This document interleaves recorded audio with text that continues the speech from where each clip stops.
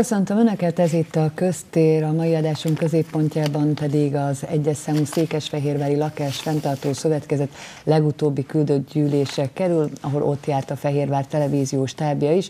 Ugye emlékeznek, múlt héten már foglalkoztunk ezzel a témával, mai vendégünkkel is erről és a küldött gyűlésen elhangzottakról fogunk majd beszélgetni. Tartsanak velünk, előtte azonban tekintsük meg a múlt heti összefoglalót.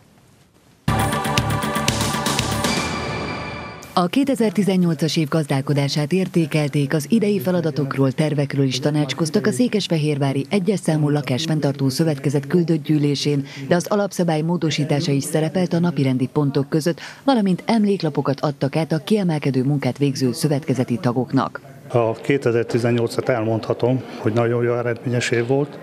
Ilyen még nem is tudom, mikor volt utoljára szövetkezetnél, hogy 20 millió forinttal tudtuk a tőkét emelni, és azon kívül sincsenek finanszírozási problémáink. A gazdálkodási eredmények kapcsán voltak, akik kritikával éltek. Véleményem szerint el kellett volna a felújítási alap a lépcsőházak között osztani. Szabó Melinda szerint a lépcsőházi elszámolások zavarosak. A vállalkozási eredményekből keletkezett bevételeket korábban visszaosztották a lépcsőházakra. 2018-ban ez 60 millió 644 ezer forint volt. Ebből az összegből 20 millió forintot kiemeltek, ami a saját tőkéhez került. Korábban többen keresték meg szerkesztőségünket, ezeket a költségmegosztók kapcsán is szerettek volna az általánydíjas elszámoláshoz visszatérni. A lakásszövetkezet vezetősége szerint ez nem indokolt több okból sem. Amikor a költségmegosztók belettek szerelve, minden lakó nyilatkozott annak idején a panelprogram keretében, hogy a költségmegosztók beszerelését kéri. Másodszorban az államkincstárral van egy olyan kötelezettségünk, hogy ezt az állapotot, amire az állam nagyon komoly állami támogatást kapott, mint egy 3 milliárd forintot fizettek a lakásszövetkezetnek állami támogatásként, ragaszkodnak ahhoz, hogy az általuk finanszírozott elemek a épületekben meglegyenek. Harmadsorban meg hivatkoznék a 2002-es uniós irányelvre, ami ismételten kötelezte kötelezte Magyarországot arra, hogy a távfűtött és a tömfűtött lakásoknál az egyedi hőmennyiségmérőt, illetve a költségmegosztót föl kell szerelni. Most nagyon nagy butaság lenne ezeket leszerelni, és esetleg fél év múlva háromszor annyi újból visszaszereltetni. De egyébként mód az lenne, tehát változtatásra lehetőség az, az lenne, illetve hogyha igen, akkor hogy? Hát egy olyan fűtés korszerűsítési eljárás lenne a a reális, ami lakásonként komplexen mérni a hűtésre felhasznált energia fogyasztását, erre a jelen rendszerek nem alkalmazhatók, illetve hát az uniós irányelv is úgy rendelkezik, hogy hogy lehetőleg költséghatékony módon kell ezt a dolgot megoldani. Hát nyilvánvaló azért ragaszkodunk a meglévő állapot fenntartásához. Egyrészt túl kevés az a lakásszám, ahol kérik a költségmegosztó megszüntetését. A legtöbb helyen most már havi elszámolás van, nincs ez a fűtési szezon végén a cirkusz, hogy én visszakapok, te meg fizetsz, meg ez van, az van. Minden hónapban mindenki annyit fizet ki, amennyit, amennyit a költségmegosztók mérnek, illetve ezt el kell mondani, hogy egy 53 négyzetméteres lakásnak a viszonylatában a elmúlt téli időszakban például én 10 6500 forintnál több fűtési díjat nem fizettem, és azt hiszem, hogy a mai árakat, aki ismeri, akár a tűzifa vagy bármely tüzelőanyag árat, az átgondolhatja, hogy ennyiből nem nagyon tudja megoldani a fűtés költségét. Nagyon fontos dolog a vannak tízszintes épületeink, ahol a földszinten vannak a villanyórák, és most nagyon nagy divat lett, illetve hát egyre nagyobb a lakóság igénye, mivel az EON ezt díjmentesen biztosítja a 32 ampera történő átállás lehetőségét. Ez viszont hoz egy olyan következményt, hogy nekünk a villanyórától a lakásokig a most meg bent lévő 16 amper bíró vezetékhálózatot ki kell egy újra cserélni. Erre készültek műszaki megoldások, illetve az a helyzet, hogy erre már vannak olyan megoldások, amiket alkalmazni tudunk. Most május és június hónapban fog sor kerülni arra, hogy a lakossággal le fogunk ülni az érintett épületekkel, ez mintegy ezer lakást érint, és át fogjuk beszélni, hogy melyik megoldás volna kézenfekvő fekvő, ami számukra is és a számunkra is megfelelő. Ennek gyakorlati alkalmazás az mikor valósulhat meg, vagy időszerű? nyilvánvaló, hogy a tervek elkészültek, kivitelezési tervek elkészültek, az EON ehhez a hozzájárulását adta, azonban történt mostanában egy olyan változás is, hogy megjelentek a piacon kisebb méretű villanyórák, amik lehetővé tennék azt, hogy ezeknél az épületeknél a villamosmérőket fölhelyeznénk a lakószintre, és volna egy olyan lehetőség, hogy méretlen vezeték lenne a lépcsázba végighúzva, ez sokkal olcsóbb lenne. Itt ugye az a kérdés, hogy ezt villanyórára mennyiért tudunk szert tenni. Az ügyvezető igazgató Farkas Béla az uniós irányelveket is felhozta, mint kizáró tényező, valamint más komplex megoldásokról is beszélt. A szövetkezet elnöke, Herceg József pedig ebben a kérdésben ragaszkodik ahhoz, hogy a lakóközösség 100%-os egyetértése mellett lehessen leszereltetni a költségmegosztókat. A költségmegosztók összességével a tagság köreibe nem téma. Én csináltam egy felmérést, ott el is mondtam, mi lett a végeredménye, tehát az 1000 meg a 2000 forint nem igaz, 5-6 ezer forint lesz a különbség. Ott elmondtam, jelen pillanatban sem téma, nagyon sokan megköszönték a, azt a televízió műsort, tehát a költségmegosztókkal kapcsolatosan azt tudom mondani, hogy ha lesz is, én továbbra is ragaszkodom a 100%-hoz, mert a lakók így gondolják, és nincs is meg a 100% sehol egyébként. Nos, hát több téma is ugye napirendre kerül a mai adásunkban. Elsőként a küldőgyűlésre szeretném, hogyha reagáljon, hiszen ön is ott volt, sőt, hogy a bejátszóban is elhangzott, ön volt az, aki jó néhány kifogással élt ott az ülésen. Igen, szeretettel köszöntöm a nézőket, és köszönöm a lehetőséget. Valóban nekünk az a meglátásunk, hogy akár az ügyvezető igazgató, Farkas, Farkas úr, akár a Herceg úr is eléggé hiteltelen, mert nagyon sokszor önmaguknak ellent mondanak. A küldőgyűléssel kapcsolatban az elnökünk kifejtette, hogy rendkívüli év volt a 18-as év, és ezért 20 millió forintot a saját tőkébe tudtak áthelyezni. Hát ez erőteljesen megkérdőjelezném, már csak azért is, mert hogyha ha megnézzük a küldőgyűlési anyagokat, és annak van egy egyeszámú melléklete, amely a bevétel és a költségtáblázatokat, kiadás költségtáblázatokat tartalmazza. Én az utóbbi 2011-től 18-ig kigyűjtöttem, tehát itt az van, hogy ha megnézzük a bevétel és a, a költség különbözetet, akkor kapunk egy összeget. A 18-ban ez 42 millió forint, a 42 millió forintnál valamivel több volt. Hát például, hogyha megnézzük a 16-ost, akkor uh, 2 millióval lenné több, majdnem 44 millió forint, 13-ban 213 millió forint volt több a bevétel, mint a, a kiadás, ami körül, több mint ötszöröse a, a, az idei évnek, vagyis hát a, a 2018-as évnek, de a 12-es évben is 56 millió, nem 42 millió, 11-ben 54 millió, nem 42 millió forintos különbség volt a bevétel és a költség között pozitív irányba a bevételne. Illetve a, meg kell néznünk a mérlegtáblázatban is. A mérlegtáblázatban közlik azokat az adatokat, amikor a vállalkozási eredményből, hogy ö, milyen összeget hoztak ki. Hát a, a 18-as évre kihoztak 60 millió 664 ezer forintot, ö, akkor 16-ban ez csak 58 millió forint volt, 13-ban ez 52 millió forint, ö, 12-ben 50, ö, még 51 milliót sem haladta meg. Tehát ö, ha megnézzük, akkor itt, itt elég nagy a, a visszásság, amit Herceg úr emlegetett, hogy az idei év olyan, vagy a, a 18-as év olyan rendkívüli volt. Egyáltalán nem volt rendkívüli, ha rendkívülinek nevezném, akkor az a 13-as év, amikor ötszörös volt a bevétel, mert 95 lépcsőházban járt le a, az LTP, a lakástakarék pénztár. Az idei küldőgyűlési anyagban is ö, ö, törvényességi eljárást kellett indítani, nem csak én nekem, hanem egy másik taktársnak is, ahhoz, hogy elérjük azt, hogy a, a lépcsőházi takarékpénztári elszámolásokról valami információt kapjunk. Mert az, hogy egy sorban közli azt, hogy, hogy ebben a, a öt, mérleg ötödik sorában van elszámolva az, hogy, hogy LTP-ket, lakástakarékpénztárokat kötöttünk, abból nem tudjuk meg, hogy melyik lépcsőházban milyen összeggel, milyen befizetéssel. De mondjuk a saját lépcsőházukkal kapcsolatban nem kapnak adatot, hogyha megkérdezik? Mondom, törvényességi keretében jutottam csak információhoz. Két törvényességi keretében is érintettem ezt a dolgot.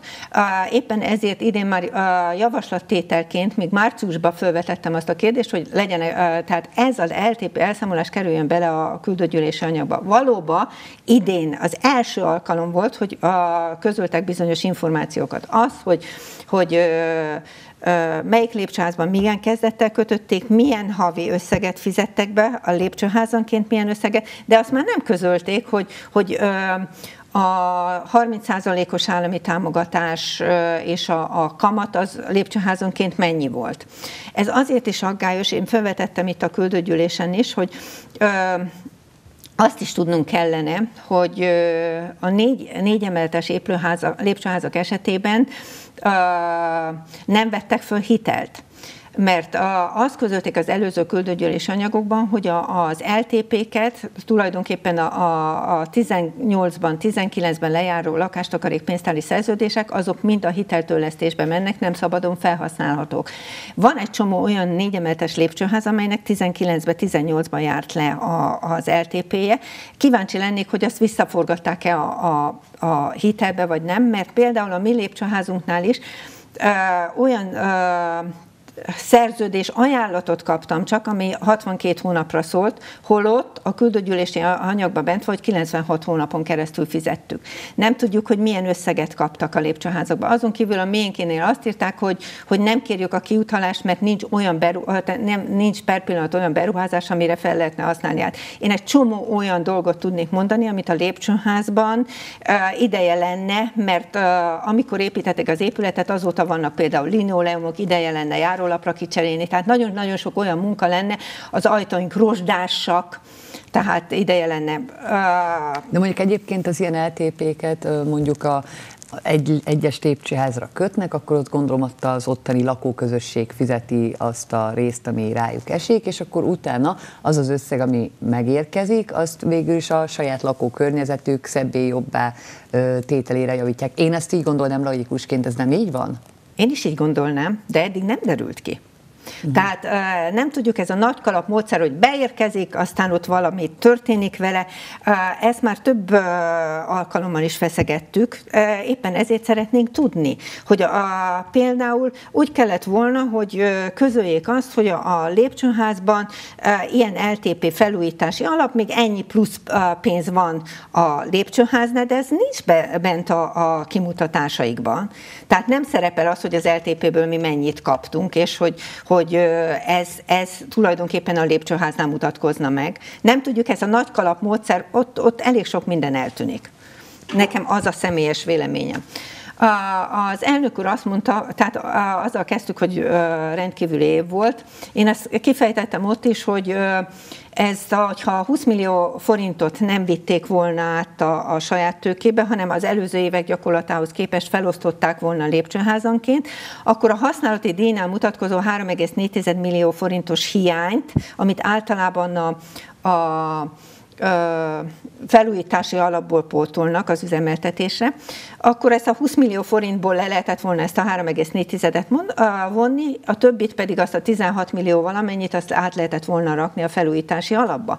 Tehát én nem értem, hogy mi alapján mondja az elnökünk azt, hogy ez, ez rendkívüli év volt, és hogy milyen kolosszálisan jól gazdálkodott a vezetőség.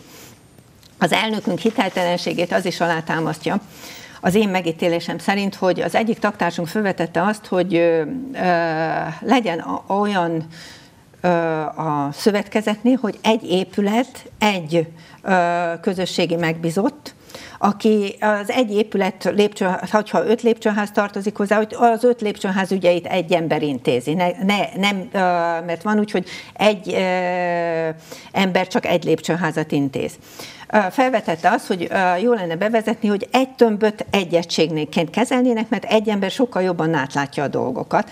Erre az elnök úr azt a választ írta, hogy amennyiben az ön javaslatát a küldőgyűlés magáévá tenni, a több lépcsőház közösségi megbizotjának is lehetne választani egy szemét, ez azt jelenteni, hogy hatékonysága jelentősen csökkenne. Hát én nem hinném, hogy ennél a hat, a hatástalanabbul lehetne működni a, a közösségi megbizottaknak, mint ahogy most működnek, mert semmi információ áramlás, ami az egyik fő feladatuk lenne a vezetőség és a tagság között, ez, ez nem mutat. Legalábbis meg. ott, ahol ön lakik, mert hát azért biztos, a, hogy vannak kivételek, nem lehet beszélek, ezt tudni nyilván, tehát tisztelettel mondom, hogy biztos, hogy akad kivétel, de a többségüknél éppen ez a probléma, hogy nincs meg. Én azokkal a tagokkal, több száz taggal beszéltem, és a több száz tag is állandóan erre panaszkodik. Azon kívül én úgy ítélem meg, hogy felhoztam a, a múltkori műsorban azt, és az elnök úr felhozta a küldőgyűlésen is, hogy, hogy én kéréssel fordultam hozzá még 18, 18 január a 18-án, és azóta a, tulajdonképpen kértem egy, egy időpontot, hogy, hogy le tudjunk vele ülni és megbeszélni a problémákat. Hát a, az e-mailem az itt van, amiről szó volt. Jövő héten legyen szíves jelölni meg olyan időpontot, ha szükségesnek tartja a ügyfélfogadási időben, amikor fogadni tud bennünket, ez áll benne. És a, kértem azt, hogy készítsék elő a panelprogramos szerződéseket, szeretnénk megnézni, szeretnénk megnézni, hogy hol van bent az, hogy 2021-ig fenn kell rajtani a költség, költségmegosztókat. Szeretnénk megtudni azt, hogy, hogy a panelprogramos pályázatokból tulajdonképpen mi az, ami ránk vonatkozna, mert nagyon-nagyon kevés információt kaptunk csak meg hogy valóban 2021-ig fent kellett tartani. Erre az elnök úr a következő válaszlata 2018. január 18-án küldött elektronikus levélére tájékoztatom, hogy az önnel folytatandó személyes beszélgetése nem önnel folytatott személyes beszélgetés. Itt van, hogy fogadni tud bennünket, hogy mikor tud sort keríteni.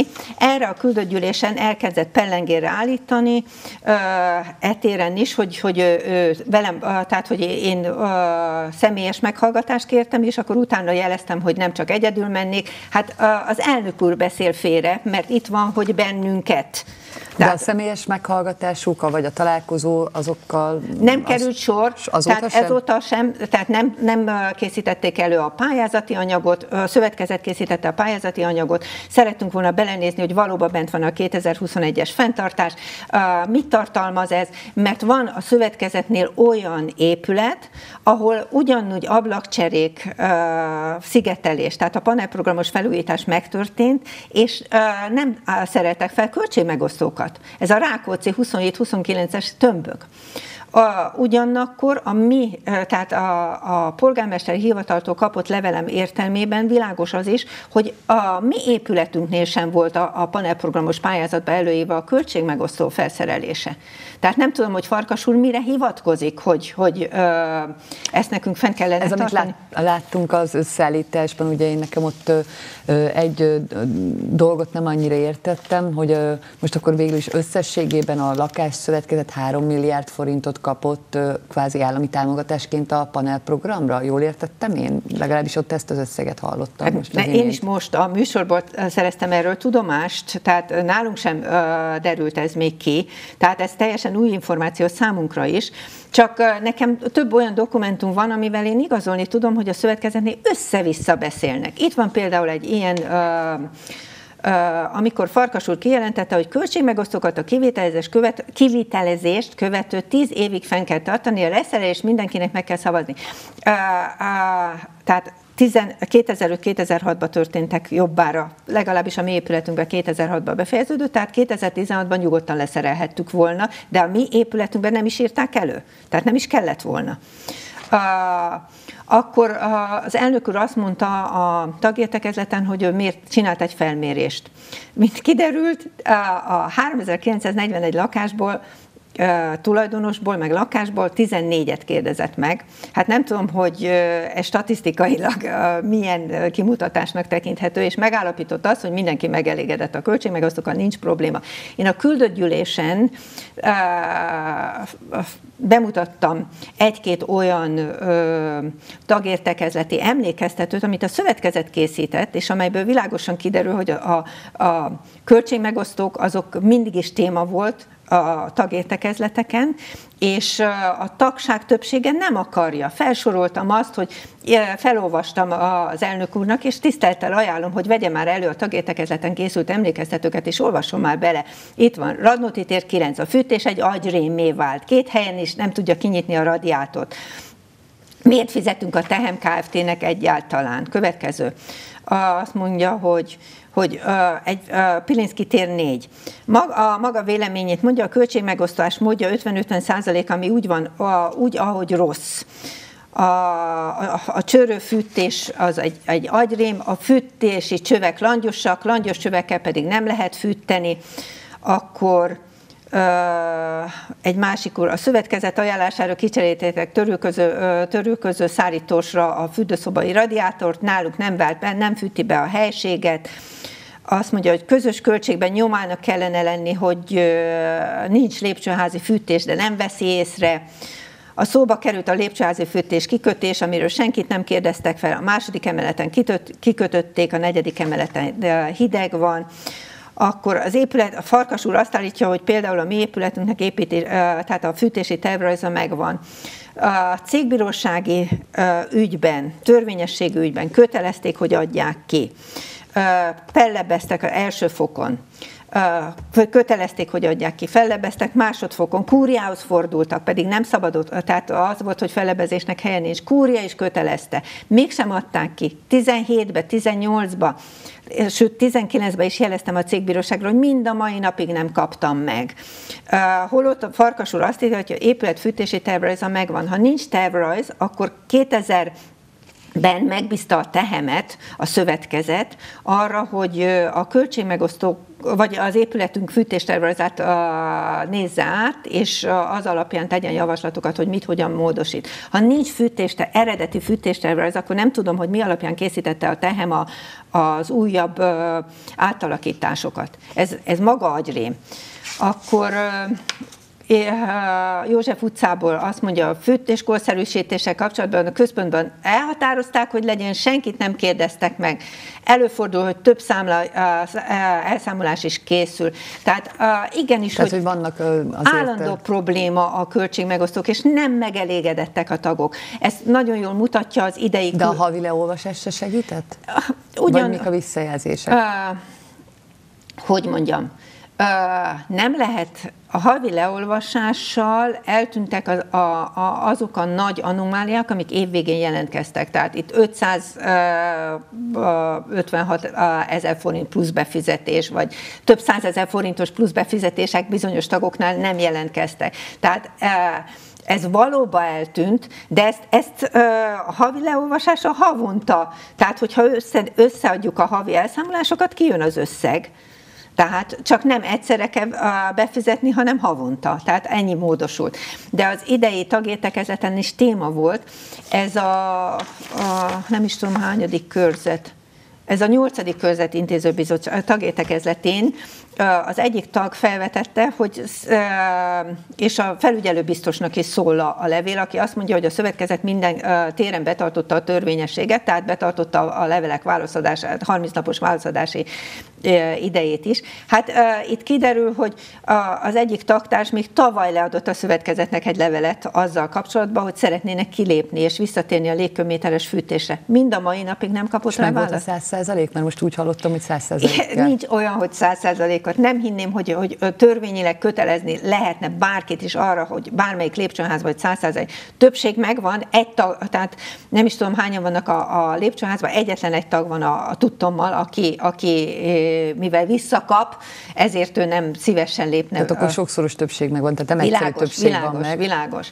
Tehát milyen felügyelő biztos az, aki ilyen anomáliákat, de hát lehet látni, hogy ö, én is hoznék olyan leveleket, ami, amiben a Farkas úr azt írja, hogy, hogy két sorba, hogy nem fog válaszolni, és tekintsem ezt válasznak. Hát ez nem válasz a feltett kérdésekre. Egy csomó ilyen levelet tudnék mondani. Tehát a törvényességi, a, a, a fővárosi ítélőtáblától kapott végzésekben világosan le van írva, hogy érdemben kell válaszolni a feltett kérdésemet, ha nem teszi meg a, a, a vezetőség, akkor törvényességi eljárás keretében a cégbíróság megbüntetheti őket. És akkor most ki tud lépni ez a ház ebből a rendszerből, vagy nem? Vagy nem kaptak még mindig választ erre? Nincs válasz. Én azt ajánlom minden épületnek, aki tehát próbálják aktivizálni a tagságot, ami nagyon nehéz, mert ellenszélben mindig nehezebb. A szövetkezet olyan ellenpropagandát fejt ki ellenünk, amivel nagyon nehéz bármit is elintézni. Tehát igenis, hogy a tagok próbálják aktivizálni, végigjárni a lépcsőházban lévőket, aláírás gyűjteni és beadni a szövetkezetnek, hogy vissza szeretnének térni a légköméteres normális fűtésre. Már aki szeretne. Nyilván. Igen, igen. Nyilván, nyilván, hogy egy, egy névsorlista tagokat ráírni, és hogy ebbe a lakásba igenis, hogy kérik az, hogy, hogy légköméteres fűtése térjenek vissza. Semmiféle 21-es fenntartást én nem feltételezek, hogy lenne. Azon kívül az ügyvéd úr érdekes nyilatkozatot tett a, a, a, az újságban, amikor itt botrányos 10 2017-ben volt az, amikor a Tehemi tartott egy fogadónapot a Széphőnél, és ott voltunk, és akkor ott nagyon-nagyon sok turpisság kiderült. Például olyan turpisságok kiderültek, hogy már rég megvolt a, a Tehemnek az optikai meg a költség megosztója, amikor nálunk a 2005-ben betiltott, 2000-ben beszerelték, mert 2000 előtt jóval meg volt az optikai is, tehát beszerelhették volna azt is, és a párologtatóst szerelték fel, amit 2005-ben kimutatták és betiltották, hogy nem lehet használni. Akkor a rádiós meg volt már 2003-ban, azt hiszem, és ennek ellenére 2006-ban nagyon sok helyen, mint a mi épületünkben is az optikait szerelték fel. Tehát nem tudom, hogy raktárkészletet próbálták kisöpörni, és ezzel, tehát sokkal jobban kellett volna ezt átgondolni, átszervezni. Rengeteg pénzünk ment a tehemhez, nem csak a költségmegosztókat megvásárlását illetően, hanem a, a, a havi és az éves leolvasással kapcsolatban. Ezen kívül szintén téma volt a a, küldőgyűlésen az is, hogy, hogy én itt a műsorban azt mondtam, hogy, és ezt fent is tartom, amit itt kijelentettem, hogy a Farkas úrtól 2014-es éves leolvasásra három különböző adatot, számadatot, összeget kaptunk meg, hogy ennyit fizetnek a tehemnek. Három különböző összeget. Ez 540 vagy 515, 515 ezer forint per radiátor per per ö, évtől elment 600, nem is tudom meddig. Tehát három különböző összeg. Erre Farkas úr válaszolt, hogy, hogy én nem tudom értelmezni a dolgokat, mert három különböző radiátor típus volt leolvasva. Nem, én nem azt állítottam. Én azt állítottam, hogy hogy éves leolvasásról volt szó. Szóval abban ne keverje bele a havi leolvasás rádiós költségmegosztókat, mert ő azt mondja, hogy három, három különféle leolvasási módszer volt. A havi, havi az külön ment, az sokkal magasabb összegér végezték. És ezeket az adatokat ö, Nekem már rég meg kellett volna küldeni, mert a tehemes szerződéseket már a, a kúria is kötelezte a szövetkezetet, hogy adja ki nekem. Mind a mai napig nem kaptam meg. És akkor hogyan tovább? Mit tud tenni?